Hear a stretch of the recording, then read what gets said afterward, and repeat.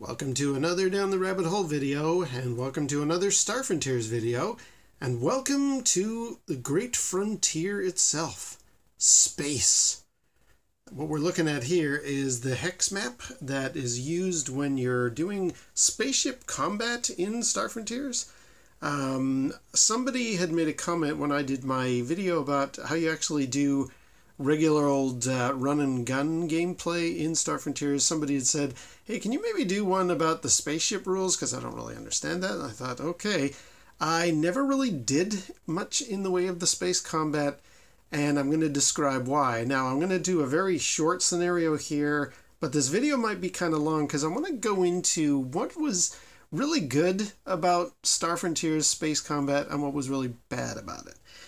Again, I'm not trying to be uh, trolly or clickbaity. I know people don't like my Volturnus video, but this is just something that I observed when I was trying to wrap my head around what's it like to do space combat in Star Frontiers.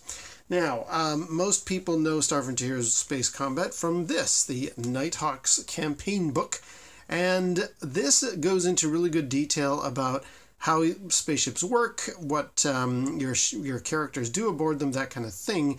But uh, anybody who might be picking this thing up thinking this is where the uh, description and the details are of how you do spaceship combat, you're in for a surprise because that's not really the book for it.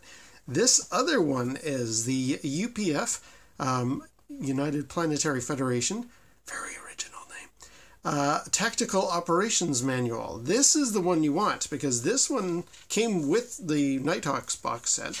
Uh, but this is the one that um, details how you actually do spaceship combat. It gives you the details of um, how movement works with the ships, uh, where combat can occur, you know, range, uh, firing your uh, your different uh, weapons. This is where all the combat is detailed. So uh, it's no wonder people have said, "Hey, I don't understand it."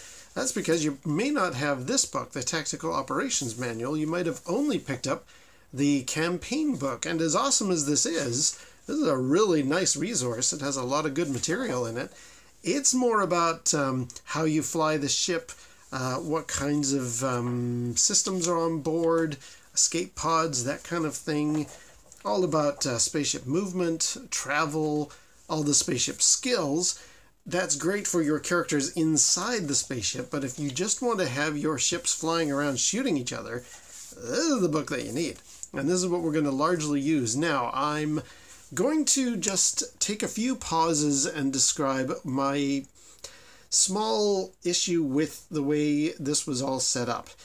In that, when you've got it in your mind, hey, I'm going to play Star Frontiers, and look at that cover. Yeah, that's me and my buddies in our assault scouts attacking some frigate on the, the far reaches of the frontier. Perhaps they're space pirates. Who knows what's going on there? Doesn't that look dynamic and exciting? Yes, very true. Except this tactical operations manual set of rules was really more designed as like a kind of a basic, almost to um, like tin soldiers moving around on a board kind of a, a system. And not that I'm, you know, I don't want to be insulting about it, but what that means is if you've got uh, visions in your mind, like I did, of hopping aboard my ship and doing some of this great combat that you're seeing here, like, look at these awesome pieces of artwork. You know, here I am in command of my starship. Let's take on the Sathar.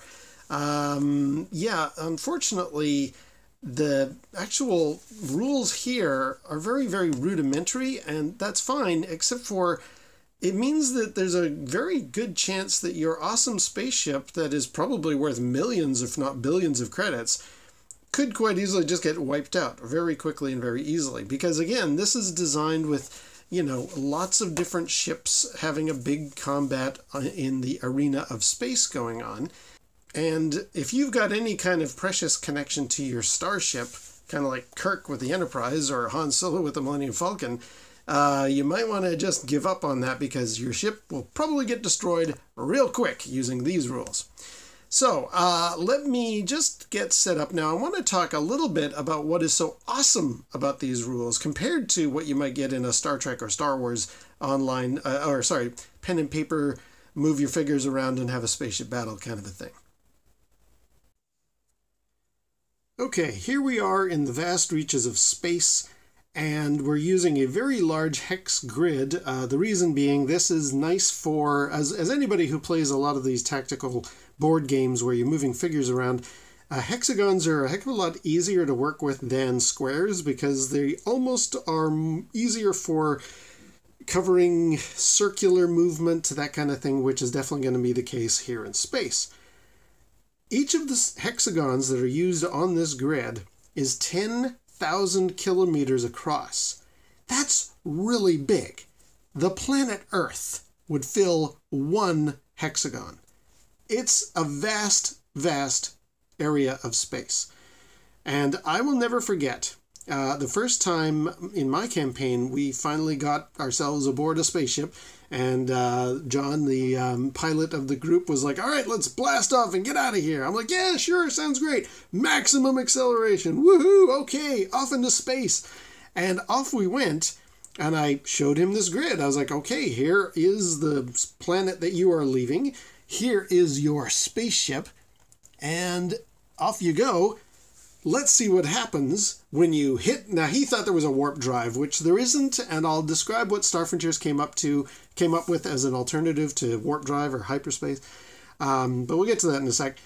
He uh, thought to himself, right, let's take off because we got you know bad guys chasing us from this planet. Let's go. And I said, great. Okay, so you blast off. You're in space, and after ten minutes, ten minutes of full acceleration, you want to know how far you get? Sure. Okay.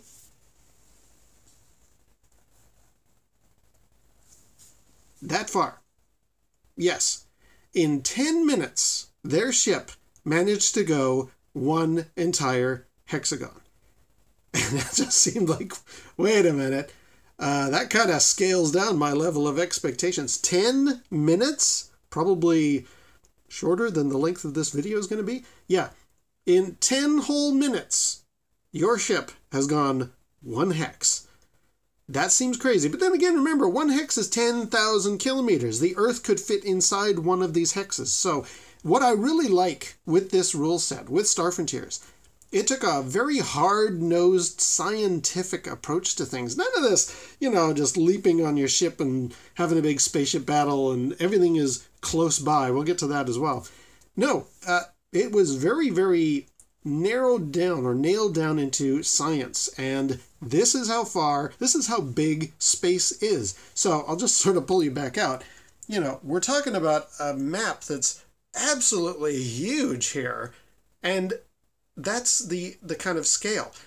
I was really blown away when I was kind of getting into astronomy a lot, as you know, anybody who's into science fiction, you, you also want to find out what's real space like. And what really amazed me was I then found out, okay, well, let's let's do a comparison here. Um, if that's how big this particular scenario is, if the Earth would fill one of these hexagons, how big is a big planet like Jupiter?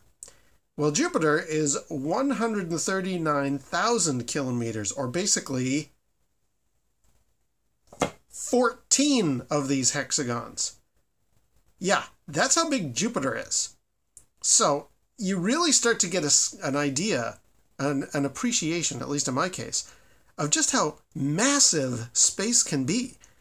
It's huge. Now, we're not going to be dealing with, with Jupiter. There will be no uh, Jovian gas giants here. Let me just remove that out of the way. But I wanted to give you an idea of the scale we're talking about. So when I um, when I explained, yeah, okay, in 10 minutes, there's how far you guys have traveled, I think it started to sink in uh, space is kind of big. And I really like that. I love that about Star Frontiers. I also love, and we're going to go into some of the details here, how the spaceships used a very non high tech approach to stuff. Like, they had in them, sure, there were laser beams and torpedoes, and we'll talk about those in a second, but there were also these, like, ideas that were kind of crazy and rudimentary, and yet locked down in science. Here's an idea of some of the ships involved. I really like the agricultural ship there because the design is very much based on science. Uh, however, when we get into the basic game for Knight Hawks, which is you know what they call spaceship combat, Um, they they kind of then threw that out the window and they started dealing with it. Like for example, the spaceship movement here, you can see that it's it's actually not very realistic. You would basically you have the ability to move forward, but if you turn, they talk about maneuver rating, and what that means is that's how many times you can actually turn the ship. Is it there? Yes, turning. Each ship has a maneuver rating, MR. It'll be a number of, you know, 1 to 5 or 6, whatever. Um, in this example, we've got a frigate here that has moved 7 hexes, hexes, but it has a maneuver rating of 3, which means he can go forward, then turn once, then turns uh, a second time. So that's that's the way that ships move with the idea of you're just moving these little pieces around this board. That's not the way spaceships would actually work. If you were to uh, turn around, you could just, you know, rotate yourself 180 degrees, not hit any thrusters, and you would be facing backwards, but still moving in that direction. So there is this weird kind of marriage of okay, you've got things nicely uh, settled in a realistic uh, fashion, but then when you go to doing this uh, tactical operations manual, where the basic rules are we're about to do, uh, you suddenly throw all that out the window. And the other thing is now this is going to be a little bit tricky here, but all of these ships, which look so impressive, are actually very they have very few hit points like this frigate. Uh, let's let's start off. Okay there's a fighter which uh, you know we're talking sort of uh, i don't know top gun uh, you know type of aircraft sort of size there. Then the assault scout which is you know much bigger and i always sort of peg the assault scout. That's the one that's used in most artwork for Knight Hawks.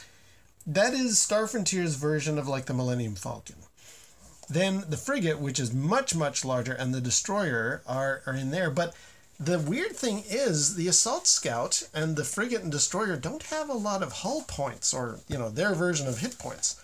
Um, if we go to the uh, rules here, you can see an assault scout only has 15 hit points.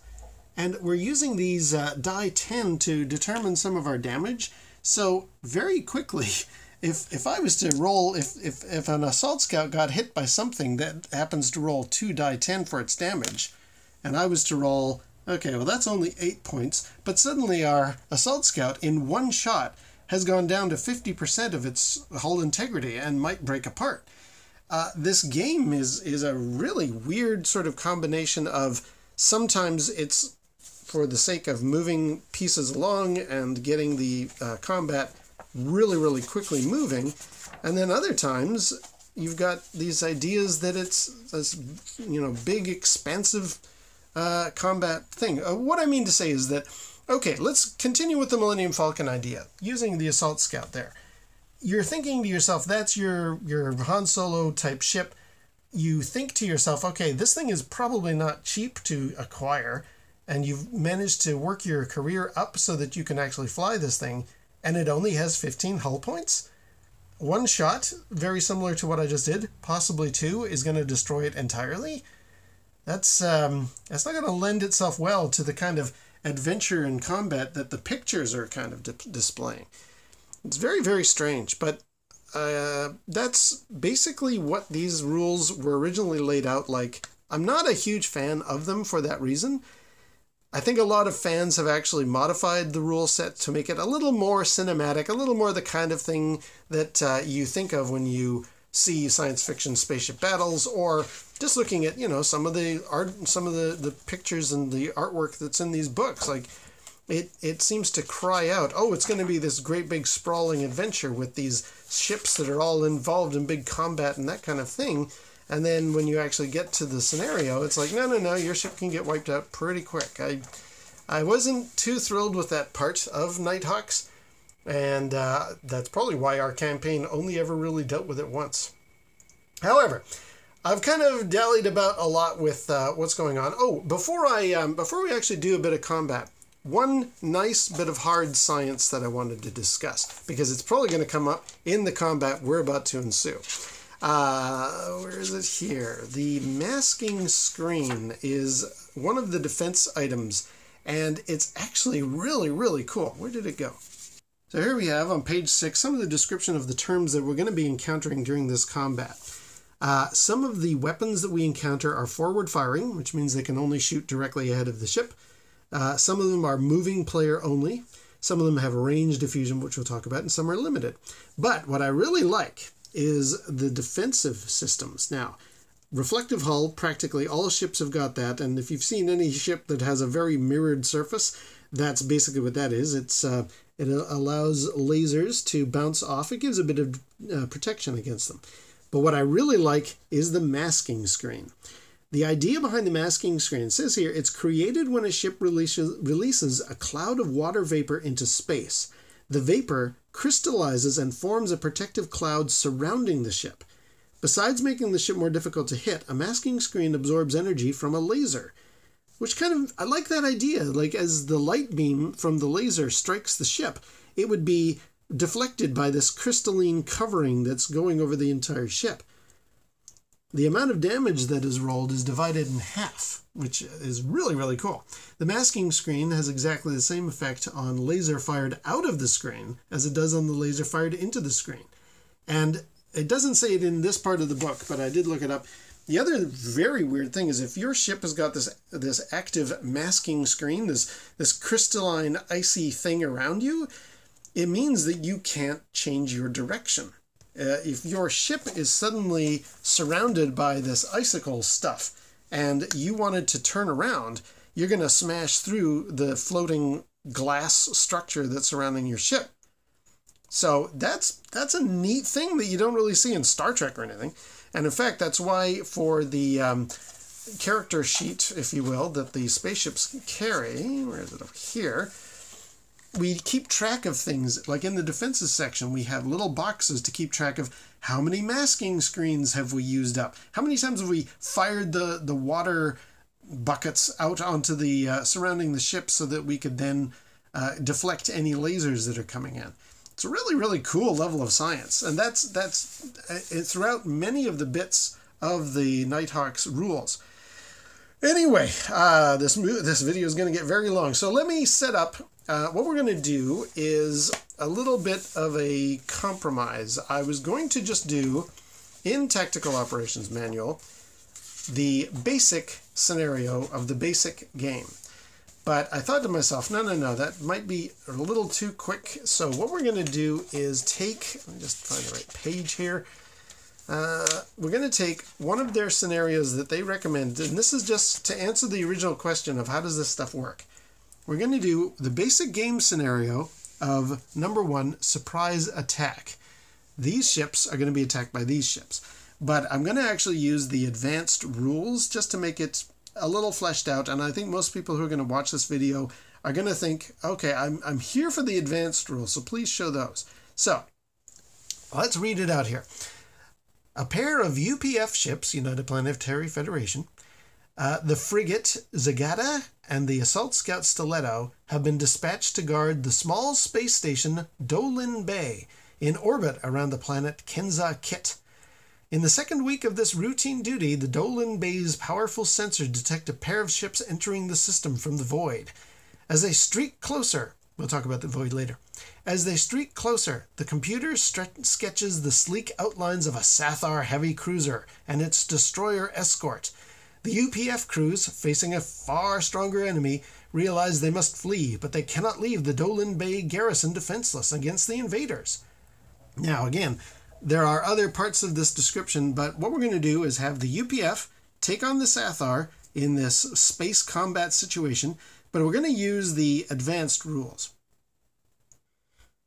All right, so here is our scenario all set up with a few slight alterations for brevity. Uh, here is Dolan Station. We've got our Assault Scout Stiletto. We've got our frigate Zagata, and they're going to go and take on the Sathar. This is actually the first time the Sathar have appeared in my videos. Uh, the original scenario wrote up, written up in the book mentioned that um, one of the ships is a destroyer and the other one is a heavy cruiser. But I was going, when I was preparing to make this battle, I thought uh, the heavy cruiser could pretty much wipe the floor with these forces, so let's just make them both destroyers just to keep things kind of balanced. Um, and much like when I did the run and gun version of how you do Star Frontiers uh, with your characters running around in the uh, on the desert planet, I'm gonna have it so that everybody's level is level 3, and in this case, for movement, everybody is starting at a speed of 5, which means they can move through 5 of these hexes in a 10 minute turn. That seems nice and basic and easy and simple for this tin soldiers moving around a battlefield type of a game, which is what the, um, the foundation of the Knight Hawk rules is. But then again, think about it 50,000 kilometers in 10 minutes. That's an incredibly fast speed. And although we're using counters here and we're, we're seeing each other, in all the movies where you've got uh, ships fighting against each other with their lasers, etc., they can all see each other. A hex that's 10,000 kilometers, where an entire planet can fit inside, even if these guys were to occupy the same space, there's no way in heck they would see each other out the window. We have to remember this probably was kind of like submarine combat, and it was all done with you know radar and ships uh, or, or, instrumentation telling them where everybody was. Uh, so that's kind of a neat thing. Oh, and the other thing that I wanted to discuss before we get started. So these guys can increase or decrease their speed with something called the ADF, the acceleration deceleration factor. Uh, in the case of the um, frigate, he can increase or decrease his speed by three, and the uh, assault scout can increase or decrease his speed by five. So these guys are both moving five right now. He could either slow down to two or he could speed up to eight hexes that he can move. The assault scout could go from uh, a movement of five, he could go all the way up to 10 if he wants, or he could go down to zero. What's interesting though is that I did the math on this uh, when I was sort of doing my campaign back in the day. If you were to actually increase your speed, let's say you only did uh, this guy who's currently moving at five, if he wants to increase his speed just one factor, so he's going at a speed of six little hexes, the acceleration that would be going on for the crew on board that frigate would be the equivalent of three G's of force. They would get maybe that wouldn't be enough for them to lose consciousness, but they would be not able to just have a stroll down the hallway. And that's only with an ADF of one being used. If this guy wanted to use five, that would be 15 Gs. That's ridiculous. So, in my uh, house rules, I actually made up this thing called the uh, grav dig absorber, which is not new. As Star Trek has it, I think they call it the inertial dampeners. Um, basically it's to stop the crew from being turned into jam on the walls. Uh, I made it so that it would reduce it down to 1G for 1 ADF. So if this guy does pull 5 ADFs and increases his speed from 5 to 10, he's actually just going to pull 5 Gs for his crew on board. this is the level of detail that I went into. Um, and one other thing before we get started there is technically no maximum speed that these ships can go. They're currently at 5. If this guy wanted to really hit the accelerator and keep going and going and going, constantly adding 5 to his speed, so he'd go 5, 10, and then 15, 20, 25, 30. Like, if he wanted to do that, nothing's stopping him now that we know gravity or, you know, inertial dampers aren't going to turn the crew into jam. But secondly, he's going to hit this theoretical maximum in the campaign rules. Now, we'll go back to the uh, the campaign book here. In the introduction, it talks about interstellar travel, and right down here, it mentions that the discovery that allowed members of the four races to expand beyond their homeworlds and enter the frontier was purely accidental. It occurred when spaceships were developed that could accelerate to a speed of about 12 million kilometers per hour, 1% the speed of light. I did the math. 12 million kilometers per hour is 200 hexes per turn. And again, we're talking this thing happens in a speed of like 10 minute increments. So this guy, as he's coasting along at a speed of 5, in 10 minutes, he's covering 50,000 kilometers at his speed of 5. If he was to continue to accelerate, and next turn go 10, and the turn after that go 15, if he was to reach after 33 hours of accelerating, if he reached a speed of 200, he would actually do this thing called entering the void, where he would vanish from our space and reappear in another star system. That was the rule set that they came up with, and I thought that was a really cool idea. It meant, though, that I had to kind of put my head together of like, okay, well, how long does it take to reach a speed of 200? 33 hours. Oh, okay. So you've got a couple of days of travel going on. But you know what? We're not here to talk about the um, the use of the void or the impact that it had on the crew on board. We're here to fight. Let's get on with it. So, I've written up our characters or our ships on uh, the included roster sheet. We have we have UPFS Zagata, that's our frigate. We have UPFS Stiletto, that's our assault scout. And since there wasn't room, I just put and Dolan Bay space station's just going to sit down here because he's not moving much. You've got his weapons and all that stuff figured out, but I've just sort of tacked him onto the bottom. Over here with our two Sathar destroyers, since the light cruiser was just way too, sorry, heavy cruiser was way too powerful. Our two destroyers, we've got the SAV Venomous up here, that's uh, got a little number A in the corner. And we also have, where did he go? Was he there? Uh, he's there now. Uh, SAV Perdition, which is destroyer number B. They're all moving at a speed of 5. We have the different weapons detailed here, which I will go into later, but we've got a laser cannon, rocket batteries, torpedoes, etc.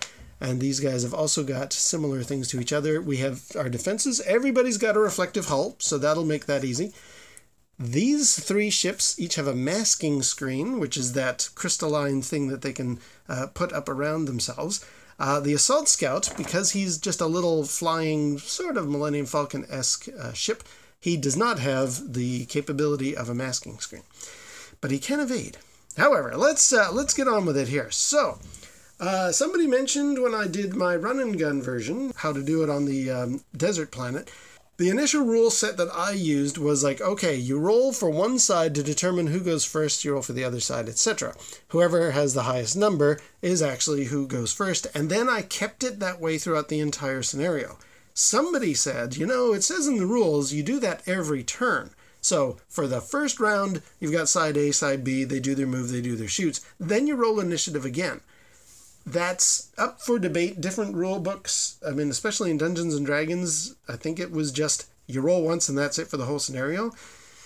But I'm going to, for this thing, for the Knight Hawks combat, I will roll every round. So it'll be, unlike my last one, I will actually roll initiative each turn. Because everybody's the same level and there's no other weird modifiers, it's just going to be the roll of the dice as to who goes first. Okay, so let's do that we will have initiative to determine who is player A and who is player B. Player A will actually move first, and player B will shoot first. So it's a kind of a losing scenario in a way, but regardless. Red for the Sathar, green for the UPF. Who goes first? Seven for the Sathar. They are player A in this first round. So they move first, and the UPF will shoot first. Now that we've determined who goes first, these are the basic rules, but this, the advanced rules kind of just add a few elements of like seeker missiles and that. Player A, the Sathar, they announce which of their ships are using masking screens. Remember the crystalline thing? These guys have got them. Uh, they're going to hold off just for now because they might overshoot their targets. Um, a masking screen counter will be placed on top of them. Not needed. Space, uh, ships and space stations in orbit are moved one hex. Okay, so player A will move one, two, three, four, five. One, two, three, four, five. And the Dolan station will move once around the planet. Player A moves his ships, making sure that no ship is. Yes, okay, we've done that. The non player character, player B, announces which of his ships will shoot at moving ships and which weapons they will use.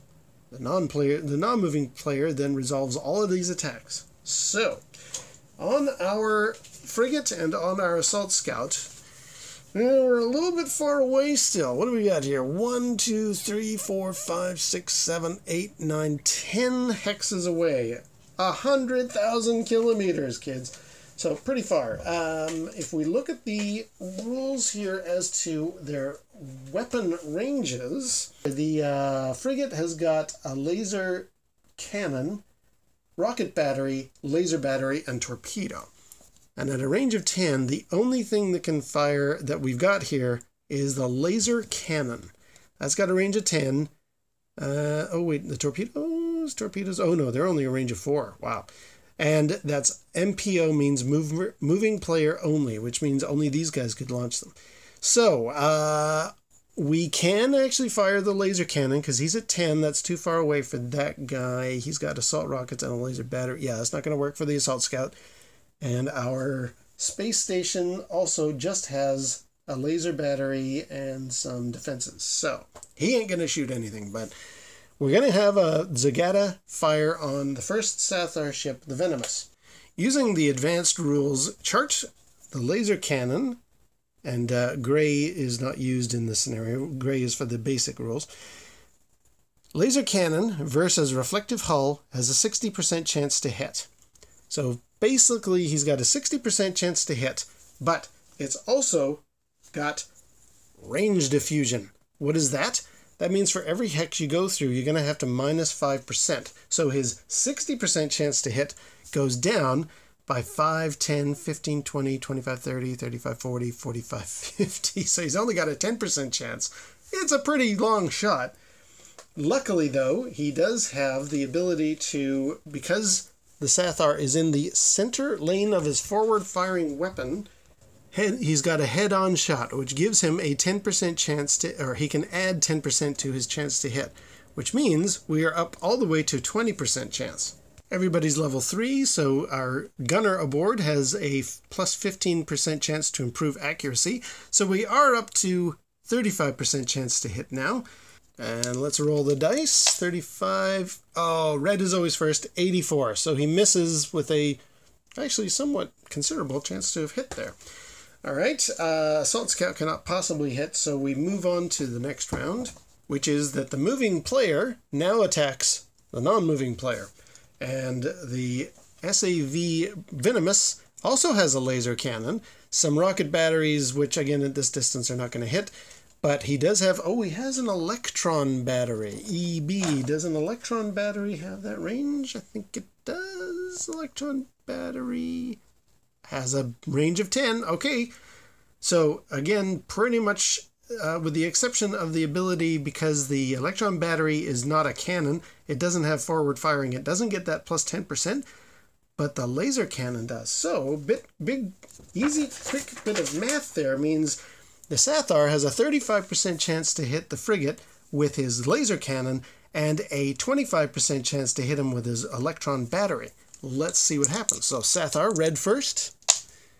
He hits him with his laser cannon. We'll do the damage in a second. And the electron battery with only a 25% chance to hit, red first. He misses. Okay. But the laser cannon strikes. Now, when we are doing damage, the laser cannon will do two. Can you see that? No. The laser cannon can do two die 10 worth of damage uh, against the hull. And we also roll on this damage table to see what else happens, because sometimes you can knock out systems. A laser cannon does not have a modifier to this roll, so let's see, without any modifier, let's see what happens when we roll here. 11. 11 means hull hit roll normal damage. Okay, so Two die 10 are going to happen against the Zagata. The Zagata currently has 40 hull points, so 2 die 10 worth of damage to that is 3 whole points of damage. Wow, I think the Zagata will survive. Okay, so that brings Zagata down from 40 to 37. All right.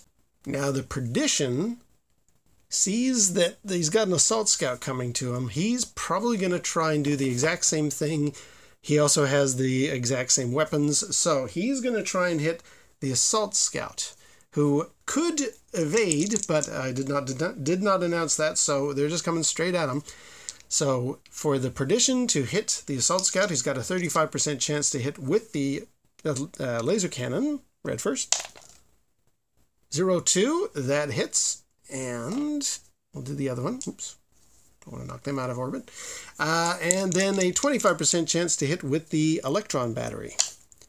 94 misses. Okay, so here's where we get into that territory that I talked about. Our assault scout, our kind of poster child for the Knight Hawks campaign, uh, the one that's on the cover of the book and everything.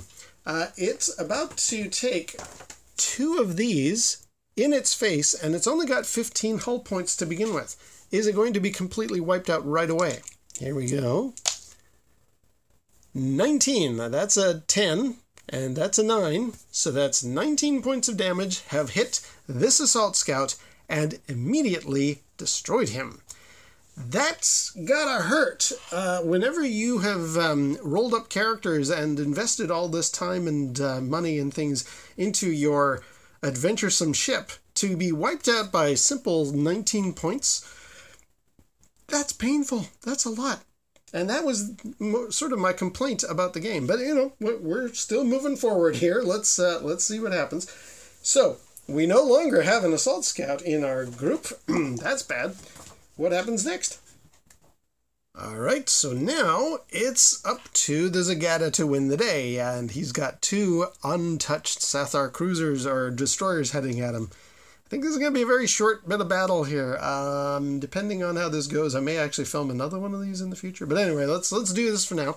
So, the Zagata is going to move I think what he would do, given that he does have an armed space station beside him, he's going to hit the deceleration, which means all of the crew on board are suddenly going to have three Gs or more uh, hitting them in the opposite direction from their travel. But regardless, he has a speed of five. He has an ADF of three, so that means he can reduce his speed down to a total of two. And yeah, he's going to do that.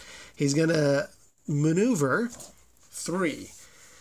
So let's go. He's got to move at least one there, and then with his speed of two, he's going to turn once and move there. That's his move. His speed is now two. Let me just put that in speed.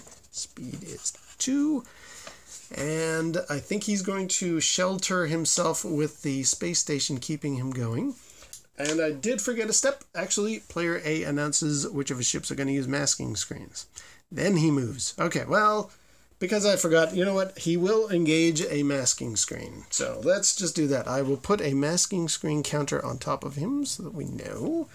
And I will tick the masking screen off his inventory, which all the ships have.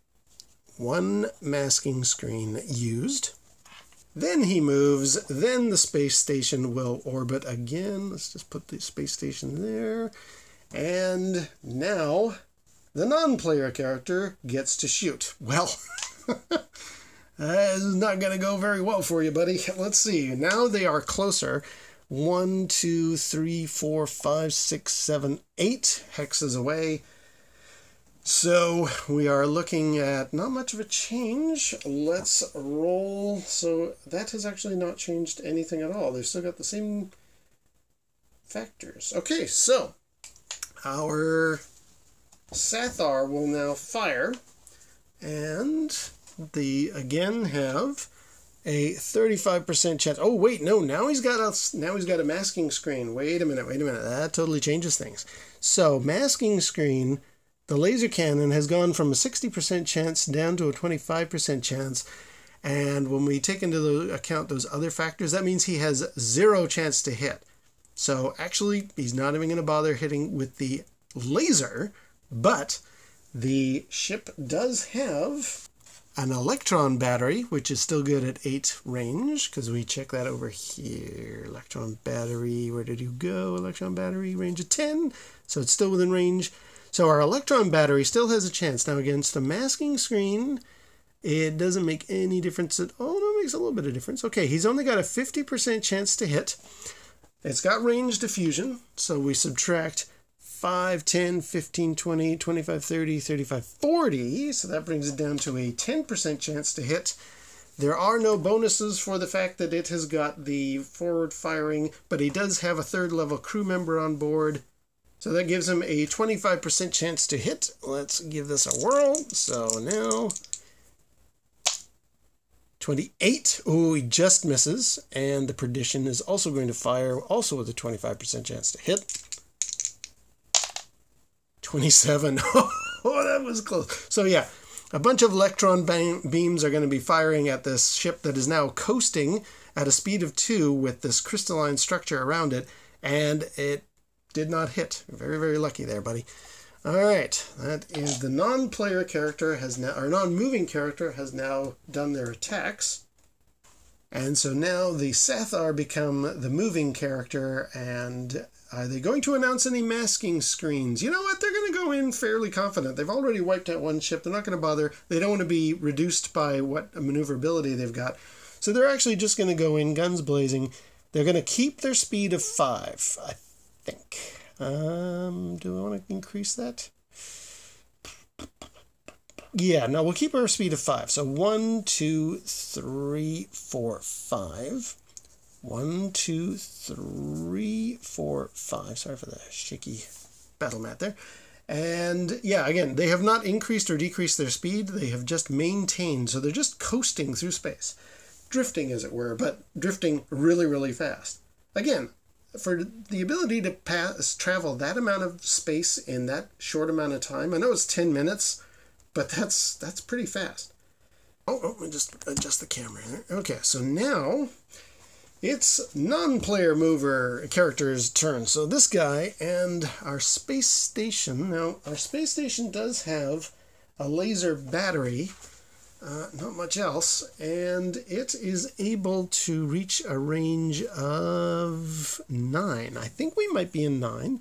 One, two, three, four, five. Yeah, okay. So the space station's going to fire his laser battery but let's start off with the Zagata, which is already in trouble. He is facing this direction now, so his forward firing laser cannon is no good. He would be able to get somebody there or somebody in this column or this column, but none of those guys. He may have made a mistake in deciding to change his direction. However, he has the Venom, Venomous, Venomous, uh, one, two, three, four hexes away. But now he can probably let loose a bit more of his weaponry. He could fire his rocket battery, which has a range of rocket battery, a range of three. No, he can't. He can fire his torpedo, except for the torpedo is moving player only, so that will not work this time. All he can do is fire his laser battery. Wow. Okay, so yeah, his laser cannon's no good because it's not. It's only forward firing. Rocket battery is too short a range. Oh, sorry. Torpedo can only be used on the moving player only's turn. So this is not his. He's not the moving player. He can't fire it. So that means all he's got is his laser battery. All right. So laser battery at a distance of four against just a reflective hull. Laser battery against a reflective hull. 50% chance minus 5, 10, 15, 20 means a 30% chance. Plus he's got a third level gunner. So that's a 45% chance yeah, that's pretty good. Let's hope for the best here. So blue first. Oh, and don't forget, because he now has a masking screen, lasers shooting out of the masking screen will actually do less damage. It's the disadvantage of having a masking screen in combat. And actually, having just checked the rules again, uh, it says, if you make that up. Um, if a ship surrounded by a masking screen fires its lasers, which is the case here, resolve the attack as if the defending ship is masked. So that changes things. Instead of our 50% against the reflective hull, it's down to a 20% chance because he's firing out of the crystalline structure. So 20% uh, plus his 15 for his third level gunner is 35% chance, but then it's down from 35, 30, 25, 20, 20. He's got a 15% chance. That's still worth it because he's in bad trouble. Okay, 15% chance to hit the Venomous. No good. All right, so lasers fire out of the crystalline structure that is surrounding the frigate and do not hit. And that is the end of that turn. So things have changed radically here. Now we will start a new turn this time we're going to roll for initiative again. So red for the Sathar, green for the UPF. It's a tie. We will re-roll. Oh, 10 for the Sathar, 1 for the UPF. Sathar go again first. I think they're feeling pretty confident. They're not going to engage any masking screens, so that's that part of the step out. Uh, space station's orbit, so this guy is slowly moving away from being very helpful. I think our frigate is in deep trouble now. And player A, which is this guy, is going to move. They have a speed of 5. Do I want to keep that going? No. They're both going to decrease their, scre- their speed to 3. In fact, let's write that down just in case I forget. Since the frigate, the, the Zagata, has reduced to 2, the Venomous could reduce his speed to 2, but he's only going to reduce his speed to 3. So 3 for the Venomous, 3 for the Perdition. So they hit the brakes and they only move three, but I think they're just going to keep going in a straight line. One, two, three, one, two, three.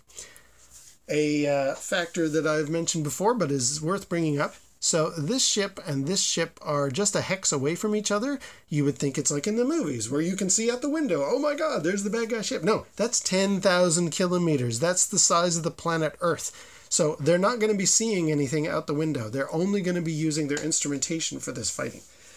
So now it's combat. The non-moving player is going to fire, and since the space station is close enough now, you darn right he's going to shoot. Um, I guess we'll start with the space station, actually. He has a laser battery, and he is one, two, three, four away, which we know. He does not have a masking screen. His laser battery has a 50% chance to hit the reflective hull of the Sathar, but his 50% chance goes down to 45, 40, 35, 30% chance. He has a third level gunner on board, so that goes back up to 45% chance. That's about it. So, space station going to shoot at the Sathar. Come on, 35%. Yes! 14. All right, we'll do damage in a second. The space, sorry, the frigate, I think he's not showing correctly. He's in that hex right there. Okay, the frigate um, no, you know what? Let's resolve that because then I'll, I might forget. So, laser battery has struck the Sathar destroyer. Laser battery will roll on the advanced damage table. Battery has no modifiers, so let's just see what we get here. Roll high. 64. Ooh, weapon hit. Okay. With the laser battery, we have managed to wipe out any of these in order. Does the destroyer have a proton battery? No, he doesn't. Does he have an electron battery? Yes, he does. So, the electron battery actually is now destroyed, or it's damaged. The crew on board could try to repair it if they want, but he no longer has his electron battery. Good shooting, Tex. The frigate goes, and he can fire his can- his laser cannon at this guy. You're darn right he's gonna. His rocket battery is within range. His laser battery is going to be kind of gimped, but at least he'll shoot. The torpedo will be movable when he is the moving player. Which, is he now? No, he's not yet. So next round he'll be able to fire his torpedo. So let's actually have him... Yeah, let's have him shoot the laser cannon at this guy, again, as if he was shooting a guy in a masking screen. So laser cannon against a masking screen has a 25% chance to hit. There is range diffusion, so it goes from 25 to 20 to 15. It's in direct line, so it goes up to 25. He has a third level guy on board, a gunner, so that's up to 40% chance to hit. Let's see how this goes. 40% with the laser cannon into the Sathar Destroyer B. 40%. Yes, he gets him. And you know what? Let's just resolve that damage right now because if I don't, I'll forget. Okay, laser cannon has no modifier, but we get to roll on the die table. So what do we got? 14 is just a hull hit. Okay, but the perdition is going to take 2 die 10 of damage. So now the perdition unfortunately has 50 hull points, so I don't think he's going to hurt too much from this, but add him up. 8 points of damage to the perdition. All right, well, hey, he did something. That's good. And so that is now down to 42, but I don't think this is going to go very well. And now he's going to fire his rocket battery against the Venomous because he really wants to take that guy down. No problems with range diffusion or anything like that. The Only problem is it's limited. So let's fire the rocket battery against the Venomous. Don't have to worry about the uh, reflective screen and the masking screen element here. Sorry, we do have to worry about. Actually, we don't need to worry about the reflective hull, do we? Uh, it'll be taking. There is a reflective hull on the Venoms. Okay. A rocket battery. There we go. It has a 40% chance to hit a reflective hull. It doesn't suffer from any kind of range diffusion. 40%. Where does that go down to? So that's it. Just rocket battery 40%. Oh, and he has a um, third level gunner on board, so that's a 55% for his rocket battery to actually hit the ship. Yeah, okay. The only only limitation is the range is only three, but we're within three, so let's do it. 55% chance to hit the rocket battery, for the rocket battery to hit The Sathar. Venomous. Oh, 85. Okay. No good. The rockets fly off into space. Do not hit anything. And the Zagata has fired one rocket battery. Okay. And he does have his laser battery as well, which we will fire against the Venomous, uh, and then he will use his torpedo when he's the moving player. Laser battery has and it's like it's being hit out of a masking screen. So 20% chance. There is range diffusion, so it's 15%. He's got a third level gunner, so that's up to 30%. And that is it. Okay, 30% chance to hit the Venomous. Go for it, buddy. He misses. Okay, so there goes that one.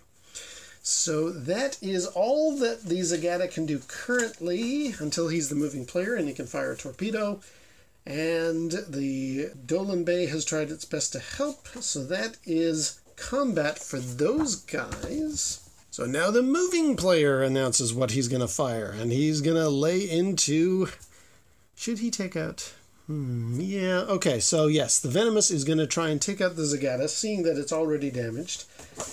And what's he got? He's got pretty much everything. He doesn't have his electron battery. Remember that got wiped out. So he has a laser cannon. Now, just a second. Is that in that cone? I think it is. Oh, no, he can't. He can't. You see, a forward firing weapon gets to hit there or these hexes, but not these hexes.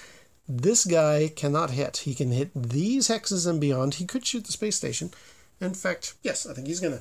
So he's to fire at the space station and unfortunately, the space station doesn't have a heck of a lot of hit points or hull points. It's got 25, so the Venomous will attack the space station. Laser cannon against laser cannon against a reflective hull 60%, but there's range diffusion, so it goes down to 6, 55, 50, 45, 40%. He's got a third level gunner, so that's 55% chance, and that's about it. Okay, 55% chance. Come on. Hit the Dolan Bay. He hits him. He gets him. So the Dolan Bay space station is going to. Oh, wait, wait, wait. We roll on the table. 12. Just normal damage. Okay. So the space station takes two of these. Oh! Double zeros. That's bad. That's a maximum of 10 on a die 10. So the space station has gone from 20 hull points, sorry, 25 hull points to five. This is going to go badly. Very, very badly indeed. Oh, geez. Okay, and that's one shot. All right, then the Sathar is going to use his rocket battery against the um, Zagata, firing a rocket battery against a masking screen is a 40% chance. He's got a third level gunner, so that's 55% chance. That's about it. Okay. Zagata's in trouble. 55% chance here. 06. He gets him. On the rocket battery, we got a minus 10 on this roll here. So minus 10 is 41, so that's a regular old damage. And regular old damage from a rocket battery is 2 die 10. I think the Zagata's in trouble. The Zagata has currently, well, he's got 37 hull points. He he might be okay. But 2 die 10 will knock him down to 16. Oh, wow. Okay, so 16 from 37. That's 21. He is below half. Oh, no, sorry, no, he's not below half yet. He's at half. 21. Oh, and this guy's gone. And this guy's not going to be around for much longer. Okay, so, boy, the Sathar just wiping the floor. And this was without having a heavy cruiser in it. That's the rocket battery. Oh, sorry. I have to mark that a rocket battery salvo was fired. Laser battery. If I was a Sathar, I was going to shoot. You know what? He's got a very badly wounded space station and a guy in a masking screen. He's obviously going to go for the space station. So, the space station. I mean, not that he can see any of this, but for the sake of gameplay here, I'm just speeding things along. Laser battery against a reflective hull has a 50% chance to hit, but that goes down from 50 to 45, 40, 35, 30. He's got a third level gunner, so it's back up to 45. Let's give it a shot. 45% chance to hit the space station. 32, he hits him. And let's just see what happens because this might be the end of the space station. So uh, on the advanced table, we roll a 97. Wow. No modifier. 97. Navigation hit. Hmm. Well, you can't navigate a space station. So when these are non applicable, it counts as just hull damage. Navigation hit. See, you get some really nasty stuff in the upper levels here. All right. So the space station is going to take one die roll, and he's only got five hull points left. If this is more than a five, the space station's gone.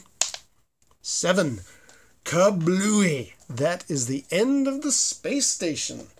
Oh man, the Sathar are really kicking butt. Is it any wonder I haven't had them show up in my uh, discussions yet? Jeez. Okay.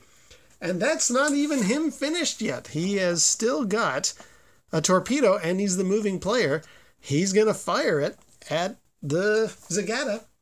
So the torpedo is going to be. Where are we at here? Torpedo against a masking screen is a 50% chance to hit. Torpedo doesn't have. It's a moving player only and it's limited and we're within range. That's about it. So we've got a raw. Where'd Torpedo go? 50% chance to hit with a third level gunner. 65% chance to hit here. I think we're going to have a go. So 65% chance to hit the Zagata. 37, that hits. And let's just resolve. The torpedo gets a minus 20 off the modifier here. So minus 20 from 22 is 0 2. Double damage. Double damage. Yikes. Because the torpedo does 4 die 10. Ouch. I'm going to roll this twice. I'm going to add it all up, and then I'm going to double it. And that's what the Zagata is going to get with his measly 21 hit points left, hull points. Okay, so first roll, we have 7, 5 and 2. Second roll, we have 5, so that's 12. So that's 24 points of damage to the Zagata with one torpedo hit. And unfortunately, that has wiped out the Zagata. Destroyed. Boom! And the Sathar go on and invade Kenza Kit, I suppose. So that's a rapid deployment of what happens in the spaceship combat. And it's really cool. I do like the fact that we've got masking screens, electron batteries. There's a whole element to the combat I didn't go into because, again, this was going to be a long video to begin with, and it has ended up being so. But you get a, the general gist of how spaceship combat works. What I like is the fact that it's so based on reality. Like, you've got, with these rules, you've got really cool technology in place. You've got a neat sense of, like, I can't turn my ship around fast enough, like capital ship combat, kind of like the sort of thing you'd see in Star Trek. But it's also got fighters and assault craft, like or assault scouts. A pseudo Millennium Falcon uh, X-wing fighter kind of combat is also possible here, all played out on a map that is scientifically accurate. I mean, that's how big the Earth is, and it really makes you think. Like these things are just cruising along in space. I, what can I say? I, I, I really was impressed and happy about that. Now, what I'm not happy about is my poor players who may have bought themselves or somehow got themselves an assault scout and a frigate have easily been wiped out in what was that three rounds or something like the the rule set is kind of designed almost with the idea of very quick and easy and brief rules for combat. And unfortunately, that's not what you want when you see these pictures. You don't want something where you, your ship only has 15 hull points. How the heck are you supposed to survive more than a couple of rounds of combat with only 15, especially with torpedoes and assault rockets and all manner of other kinds of ship uh, combat weapons here that I haven't even touched on? However, that is Knight Hawks in a nutshell. Uh, I hope you like that, and uh, yeah, it's it's it's a much shorter session than than the one we did where we were uh, attacked on the planet, but this is also why we didn't really get to play too much of it back in my campaign back in the day. It's it's clunky and it doesn't lend itself well to high adventure concepts that I think players have when they jump aboard their assault craft and they're going to different planets. They're thinking, oh yeah, my ship can take on a, a beating. It can go through multiple battles. No, it can't, not according to these rules. Lots of people have modified these rules over the years, and I think they've done a good job.